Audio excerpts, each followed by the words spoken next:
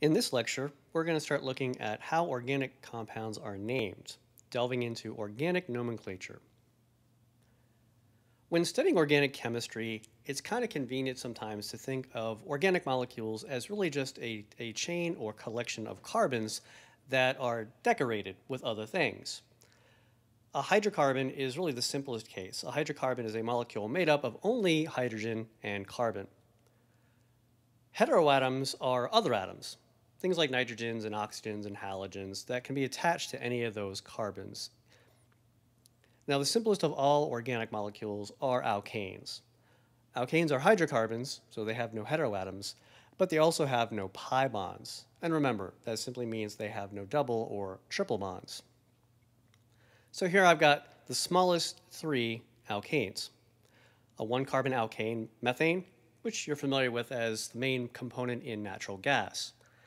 We have a two carbon alkane, ethane, and then a three carbon alkane, propane, which you're also probably familiar with from you know, backyard barbecue grills and such. Now, when we start introducing other atoms, heteroatoms, and other types of bonds like double bonds and triple bonds, we introduce functional groups. A functional group is a collection of atoms and bonds with a characteristic chemical reactivity. So here I've got a couple of examples. I've got a two carbon chain with an OH attached to it. That's a functional group. It's actually an alcohol. We'll learn more about those later. In our other example, we have a carbon that is double bonded to an oxygen and then a single bond to a chlorine. This is called an acyl halide, just another functional group. Now they're called functional groups because they behave the same no matter what molecule they're attached to. If you see an OH bonded to a carbon chain, it doesn't really matter what the rest of that molecule looks like. It's going to behave roughly the same. Now, before we can really go any further in looking at how organic compounds are named, we do have to take another look at drawing molecules. We're going to be looking at much larger and more complex molecules, and that really necessitates less detailed and faster ways of drawing things. So I'm going to show you two new types of structures. The first, condensed structures. A condensed structure is an abbreviated structure that groups together identical atoms and omits most of the drawn bonds. When looking at condensed structures, it's important to recognize the difference between multivalent atoms and monovalent atoms. Multivalent atoms are those that typically make more than one bond, atoms like carbon and nitrogen and oxygen, whereas monovalent atoms are those that typically make one bond, usually hydrogens, but a lot of halogens. When you look at a condensed structure, what typically is happening is we take each multivalent atom and we see what monovalent atoms are attached. And then we indicate how many of those atoms there are with a subscripted number. So if you look at propane, the leftmost carbon, that's a multivalent atom, and it's bonded to three hydrogens, which are monovalent. Yes, it's also bonded to another carbon, but that's another multivalent atom, so we're going to ignore that for now. So that leftmost carbon has three hydrogens attached, three monovalent atoms. So we group all those together and we simply draw it out as CH3. The next multivalent atom in the molecule is that middle carbon, which has two monovalent atoms attached, two hydrogens. So we abbreviate that as CH2. And then the third carbon is kind of the same as the first, right? It's a carbon with three hydrogens. Those are monovalent, so we abbreviate it as CH3. Now, the actual bonds connecting the multivalent atoms can also be omitted. In fact, that's probably more common. I like to draw them out sometimes, but it's perfectly okay to just draw out CH3, CH2, CH3 in a fully condensed structure. By far the fastest way to draw any organic molecule is to use a skeletal structure. This is a highly abbreviated structure in which all the carbons and hydrogens are actually implied and not drawn out explicitly. This is how it works you simply draw a line that represents each covalent bond between carbons. The end of each line and the intersection of any lines represents a carbon. So if we draw out propane, we would simply draw out two lines connecting. Now, there are hydrogens implied attached to each of those carbons, and we imply enough hydrogens to match the charge drawn for the, that particular atom. So there are no charges in propane, so it's kind of simple if you look at the leftmost carbon, that's the end of the line, right? That represents a carbon.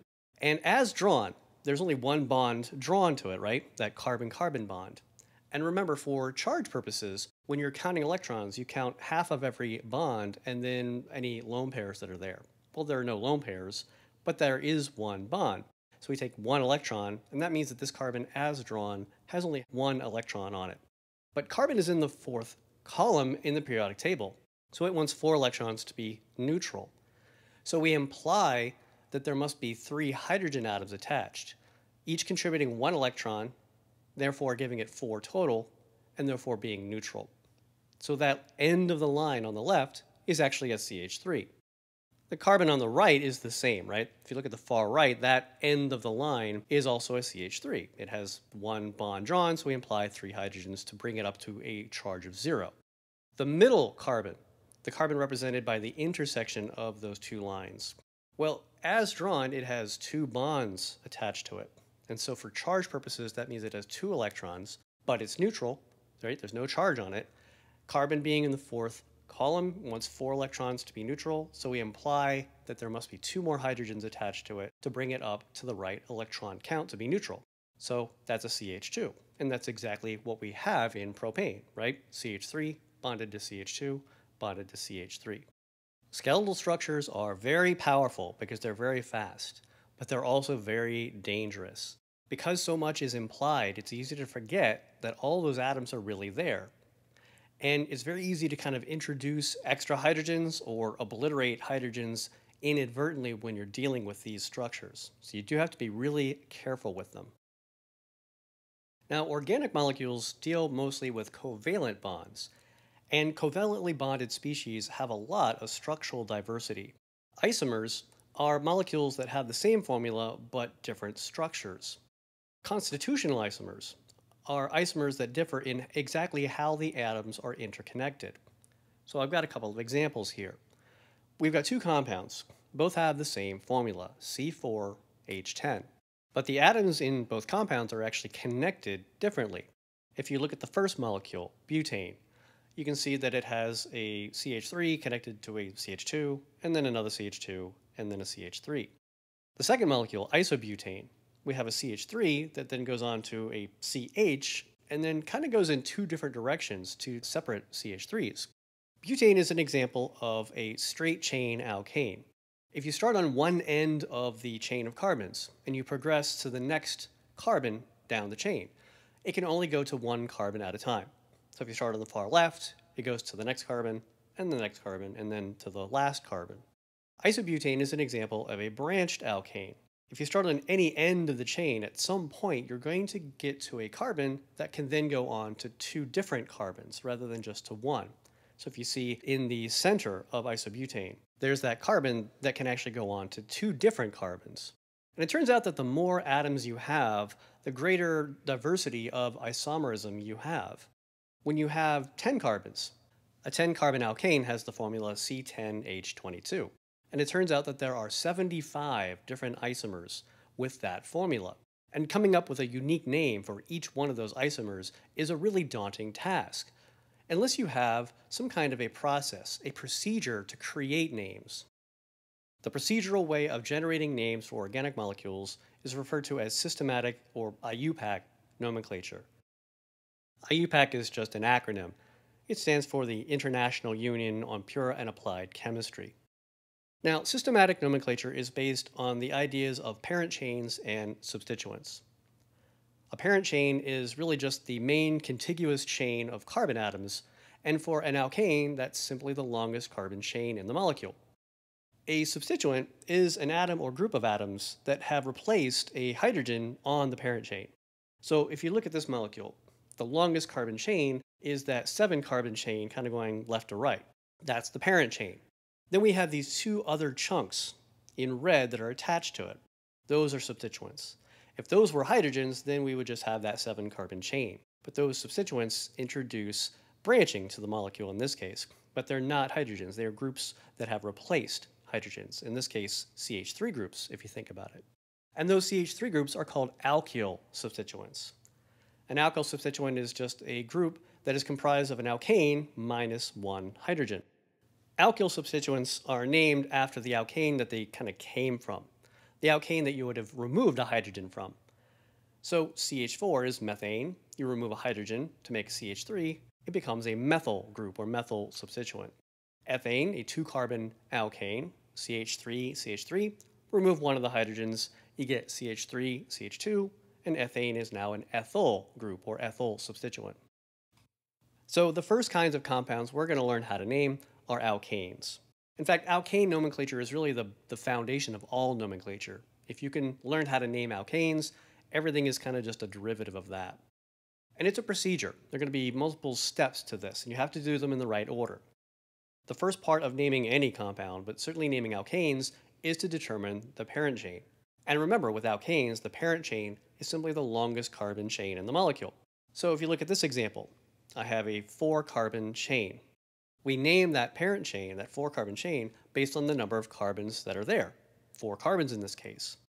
So here, I'm showing you the names for the 10 smallest alkanes. We have a one carbon alkane, which is methane, then two carbons is ethane, three carbons propane, four carbons is butane. And then we have pentane for five carbons, hexane for six, heptane for seven, octane for eight, nonane for nine, and decane for 10. And yeah, just commit these to memory, right? This is the basis of all nomenclature, so these 10 names you've just got to learn, but a lot of them are pretty, pretty simple. So going back to our example, we have a four carbon chain, so this is going to be a butane. And because it has no substituents, it's just a, a straight chain molecule. That's it, we're done. It's butane. Most of the rules we're going to look at now deal with what happens when you have substituents attached to the parent chain. If you only have one substituent, you always start from the first rule, right? You got to go back and figure out what is the parent chain. So if you look at this example, the longest carbon chain is again four carbons. So it's butane. This butane has a substituent attached to it, right? It has a branch point. What we're going to do now is we're going to number the carbons of the parent chain. And we do this by starting on the end of the chain that is closer to that substituent. So in this case, if we start on the left carbon, we would get to that that substituent, it's a methyl substituent, on the second carbon. If we started on the right side, it would actually be on the third carbon. Since that's a higher number, we don't do that. We start on the left in this case. So we can then number all four carbons of the parent chain, in this case, left to right. So now we can see that that substituent, that methyl group, is attached to the 2 carbon of the parent chain. That 2 is called a locant. It's essentially the position of that substituent on the parent chain. And we simply place that locant in front of the substituent name separated by a dash. So in this case, it would be 2-methyl. And then we attach that to the parent name of butane. So 2-methyl butane. And this is how pretty much all substituents are introduced to a name. You place the substituent in front of the parent name, and then you put the locant value in front of the substituent name. Remember to always separate a locant from any letter part of a name with a dash. Most of the remaining rules for generating systematic names for molecules deal with what happens when you have more than one substituent. So if you have multiple substituents, you're going to do the exact same thing. You're going to figure out what the parent chain is. So if you look at this example, you can see that the longest carbon chain is the 8 carbon chain going across horizontally. We then number the parent chain. In this case, because we have more than one substituent, we simply start the numbering from the end of the chain that is closer to any substituent. Doesn't matter which one it is, just whatever one is lower. So in this case, numbering from left to right, we would get to a substituent, a methyl substituent on 3. If we started on the right, we would actually get to a substituent, an ethyl substituent on 4. And since 4 is not lower, we start from the left side, right? That gets us methyl on 3.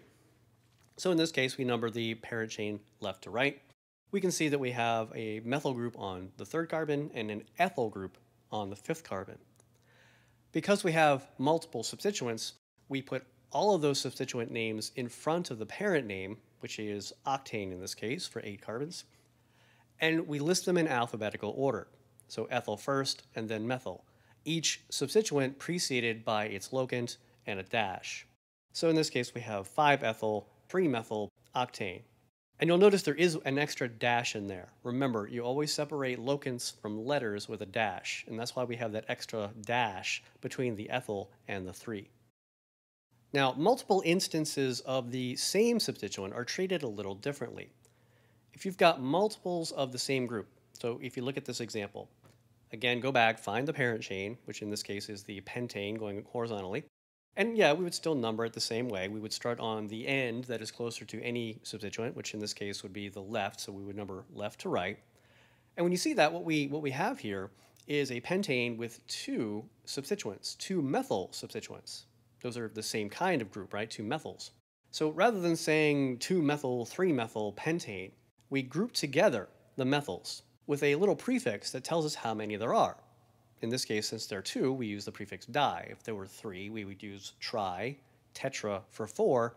And then after tetra, it follows the same kind of naming convention that the alkanes did. Penta for five, hexa for six, etc. So in this case, what we have is 2,3-dimethylpentane. We put both locant values in front of the dimethyl, and we put those in increasing numerical order, 2, 3, and the locants themselves are separated by a comma. So 2,3-dimethylpentane. Remember that each substituent does get a locant, even if it's the same value. If you had two methyl groups sticking off of the same carbon, you would have to list the same locant twice, like 2,2 or 3,3. The next couple of rules deal with what happens when you have ties in the numbering of the parent chain. So what happens if you have two substituents that are equidistant from either side of the parent chain? Look at this example. We can see that the parent chain is going to be this nine carbon chain going horizontally, and we have three substituents. Starting from the left, we would get to a methyl substituent on the third carbon. Starting from the right, we would also get to a methyl substituent on the third carbon. So it's a tie. So in that instance, what we do is we ignore the first substituent that we encounter starting from each end, and we simply go to the next substituent that we would encounter from each end. So starting from the left, we would ignore the first methyl group, and then the next substituent what we would encounter would be that ethyl group on the fourth carbon. Starting from the right, if we ignore the first substituent, the next substituent what we would encounter again is that ethyl group, and the ethyl group would be on the sixth carbon, and that's a higher value. So we're going to go and start from the left to give that group the lower value. So it's pretty straightforward. If you get a tie from starting on either end, ignore the first substituents and just look at the next substituent starting from either end. So in this case, there's really nothing else new. We have a nonane for nine carbons. We have two methyl groups, one on 3 and 7, so that's going to be 3, 7 dimethyl. And then we have an ethyl group on 4. And so we have to alphabetize that. 4 ethyl, 3, 7 dimethyl, nonane. And if you look at that, you might at first think I made a mistake, right? Because ethyl does not come before dimethyl alphabetically. But for naming purposes, it does. The counter prefixes are ignored when alphabetizing. And it actually makes a lot of sense. There's an easy way to remember this, in fact. Just ask yourself, is there such a thing as an ethyl substituent? Yeah, it's a CH3, CH2 group. That's an ethyl substituent. Is there such a thing as a dimethyl substituent? No, right? There is no such thing as a dimethyl group. A methyl group, yes, but not a dimethyl group. Dimethyl simply is telling you that there are two instances of methyl groups, and methyl is an actual group. So that's how this works. We're alphabetizing the group names, ethyl and methyl, and that's why ethyl comes before dimethyl. Now, occasionally you'll encounter situations where there's an, what I call an absolute tie. So let's look at this example. Again, find the parent chain. In this case, it's going to be the seven carbon chain going horizontally. And for numbering that parent chain, if we start on the left, we're going to get to a substituent on the third carbon. And if we start on the right, we're going to get to a substituent again on the third carbon. So it's a tie.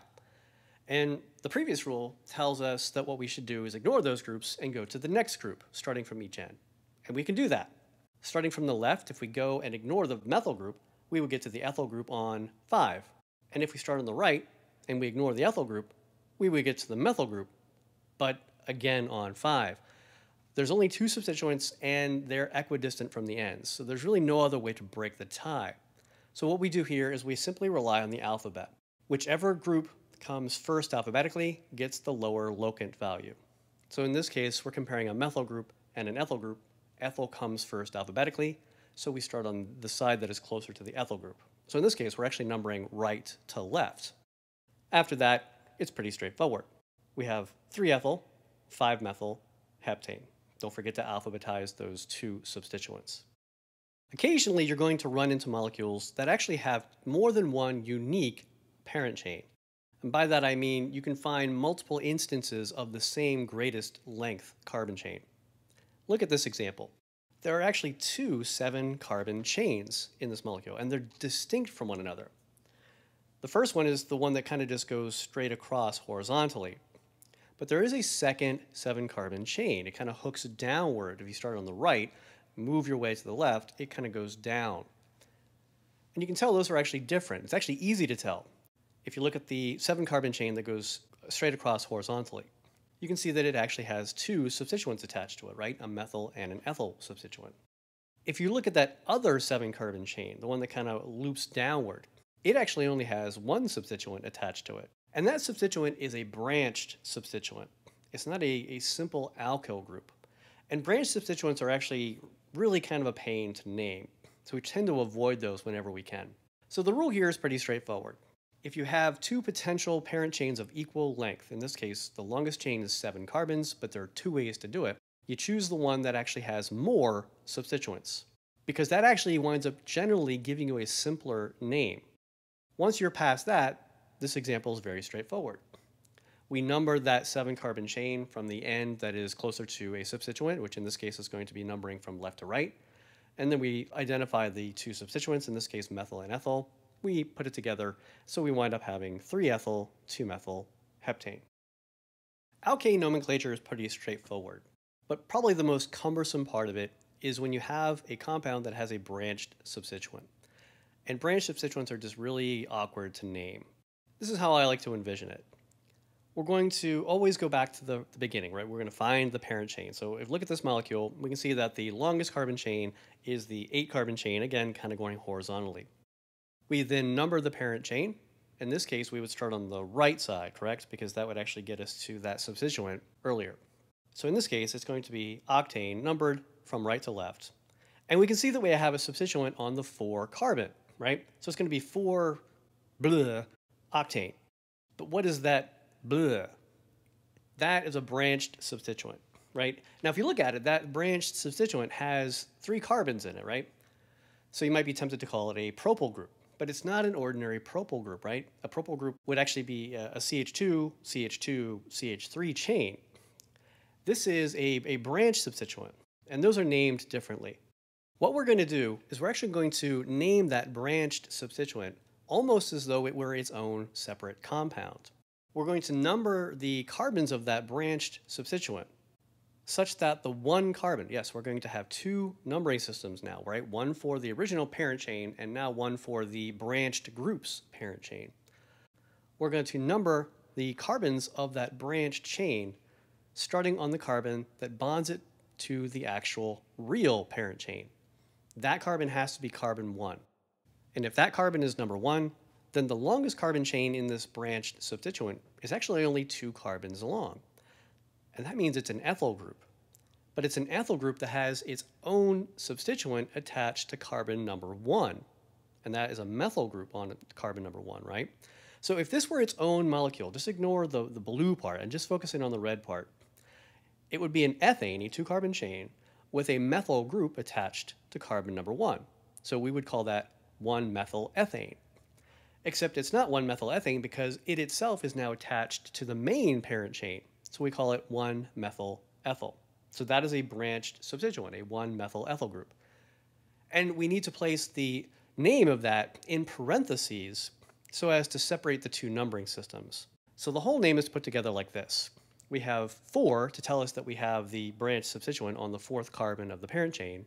Then in parentheses, 1-methyl ethyl because that's the name of the actual branched substituent. It is an ethyl group with a methyl group attached to the first carbon of that chain, and then the parent chain, octane. Now, some of these branched substituents do have simpler, what are referred to as common names. This substituent in red here is actually referred to as an isopropyl group. You can kind of see where it got its name from, right? It's an isomer of a propyl group. And yeah, that's important to know, I think, but at the same time, it's very limited only a very, very small subset of branched substituents have these common names. However, any branched substituent can be named using this kind of systematic process. So really focus on naming these according to the, the IUPAC rules like this.